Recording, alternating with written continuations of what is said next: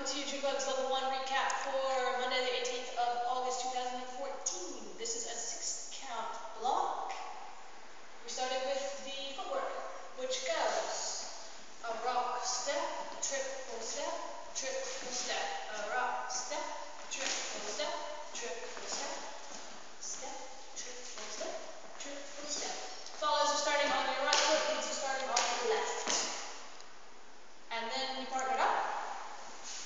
Remember making the V? And then the R position, all around back, and up, and down. And then here, we do that same footwork. A rock step, a jerk step, a jerk step, a rock step, jerk step, jerk step. There's front. Front.